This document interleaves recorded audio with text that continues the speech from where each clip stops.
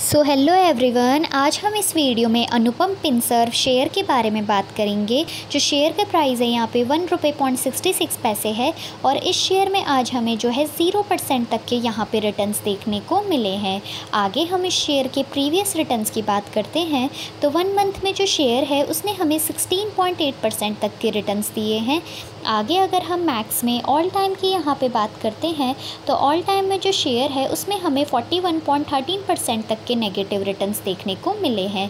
साथ ही हम इस शेयर के रिटर्न्स की बात करते हैं तो फाइव ईयर्स से टू ईयर्स तक जो शेयर है, उसने हमें यहाँ पर पॉजिटिव रिटर्न्स दिए हैं और वन ईयर से थ्री मंथ्स तक जो शेयर है, उसमें हमें यहाँ पर नेगेटिव रिटर्न्स देखने को मिले हैं। वन मंथ और वन वीक में जो शेयर है, उसके हमें यहाँ पे अब जो है पॉजिटिव रिटर्न्स देखना शुरू हो गए हैं। अब यहाँ पे शेयर के हम रेजिस्टेंस लेवल की बात करते हैं तो अगले मंथ तक जो शेयर का यहाँ पे टारगेट है, वो वन रुपये पॉइंट एट्टी पैसे के अराउंड यहाँ पे रहने वाला है। और जो तीसरा रेजिस्टेंस लेवल है, उसको यहाँ पर हिट करने के लिए हमें वन मंथ तक का वेट करना होगा। वैसे तो जो ये शेयर है, वो शॉर्ट टर्म के लिए थोड़ा रिस्की है यहाँ पर लेकिन अगर आप इस शेयर को लॉन्ग टर्म के प्रस्पेक्टिव से होल्ड करके रखते हैं तो यहाँ पर इस शेयर करके आपको जो है लॉन्ग टर्म के लिए बहुत ही अच्छे यहाँ पे रिटर्न्स देखने को मिल जाएँगे।